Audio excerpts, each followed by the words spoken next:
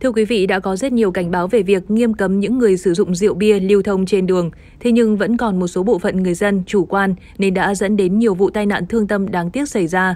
Mới đây, Công an quận Nam Từ Liêm Hà Nội cho biết đã ra quyết định truy nã đối tượng Nghiêm Văn Hùng về tội cố ý gây thương tích.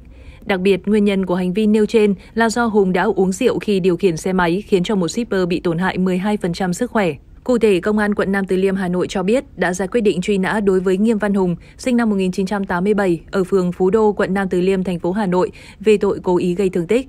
Theo điều tra, sáng ngày 6 tháng 7 năm 2022, sau khi uống rượu, Nghiêm Văn Hùng cùng bạn điều khiển xe máy về ngõ 8 Lê Quang Đạo, phường Phú Đô, quận Nam Từ Liêm thì làm đổ xe.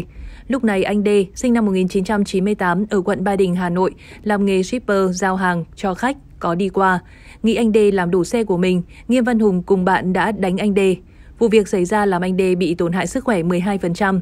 Căn cứ vào tài liệu điều tra, ngày 26 tháng 10 năm 2022, Công an quận Nam Từ Liêm đã ra quyết định khởi tố vụ án hình sự cố ý gây thương tích.